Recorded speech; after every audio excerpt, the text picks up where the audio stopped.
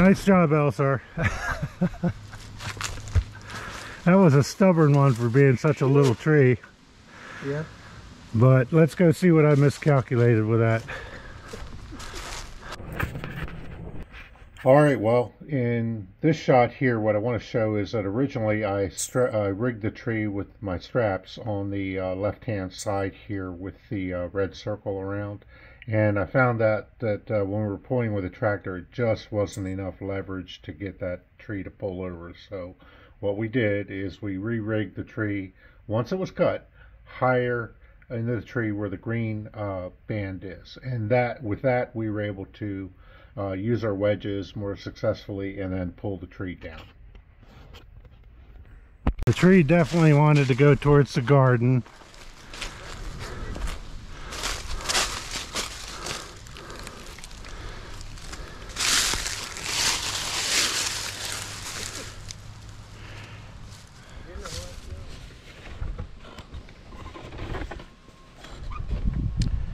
Well, hi everybody. Here we are. It's like the middle of November 2023 and I'm over at my uh, neighbor's uh, backyard, uh, Mr. Elzar.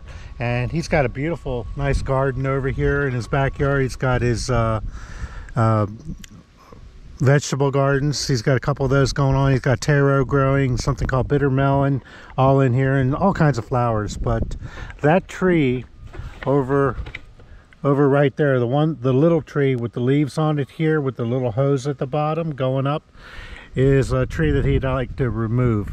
So what we're going to do today is uh, remove that tree. Now that tree it's hard to tell but it is leaning towards you know his garden area. So what I'm going to do is rig uh, the tractor up that I'm on today uh, to to pull the tree from the back side and then cut it and then fall it. So we'll see how that goes today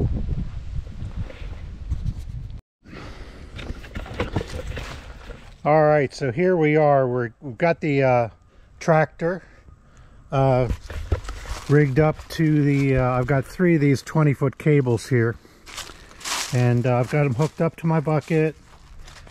I've got a clevis um, coupler here one there. And I've wrapped around the tree up here too. So what we want to do this tree is actually leaning towards this garden areas. And the idea is that we're going to cut uh, right about here where my hand shadow is have the tree go back that way into the woods with the assistance of the tractor. So we'll go have a go at that. All right all right so one more thing. I'm using my Worx. Uh, this is a cordless chainsaw it's 40 volt it uses two uh, 20 volt batteries and gets them up to 40 volts but this bar already originally came in a uh, 14 inch model. I upgraded it to an 18 inch model and there is a way to uh, to do that and I have another video on the channel that if you like to uh, see how that was done you can go take a look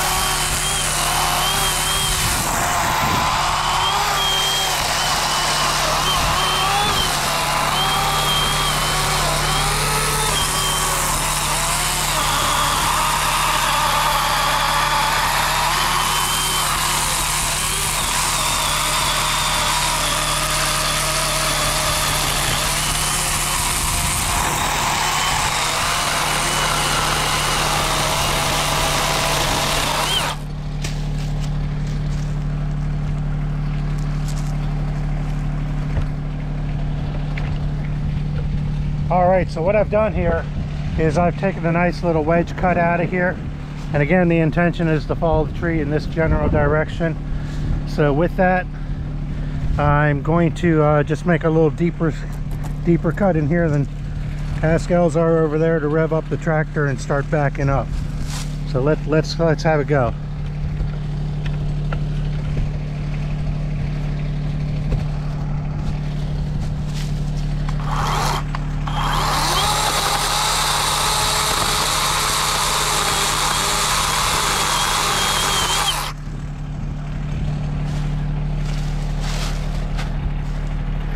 Rev it up.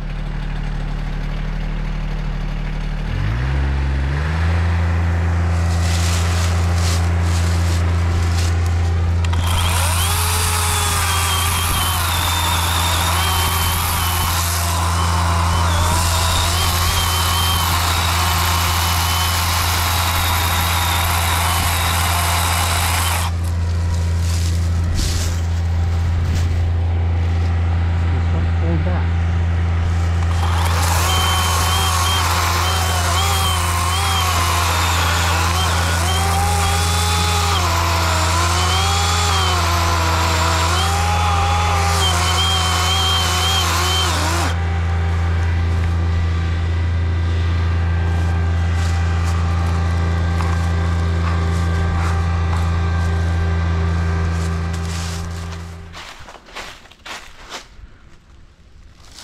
Yeah, see it wants to go that way. It is going that way. Um, I tell you what, let me go get my wedges. I have something called wedges.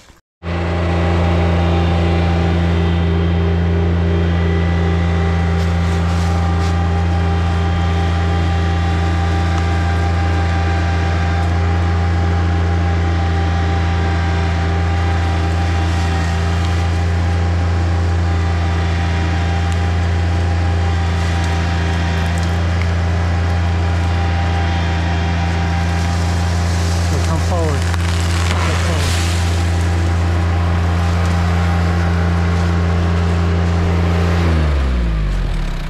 Nice job, Elsar.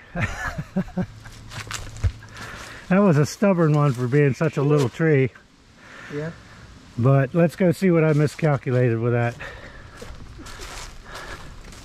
The tree definitely wanted to go towards the garden.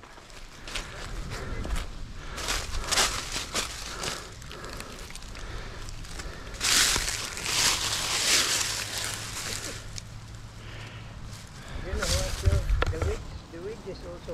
Oh yeah, they definitely helped. That's what saved us from going into the garden. Yeah. This thing really works, huh? Really know what to do. Yeah, well that, that was a good way to recover it, as you say. We were able to put it in here, get get the pressure off of this side, put it back over there, Yeah. and the tractor helped push it over.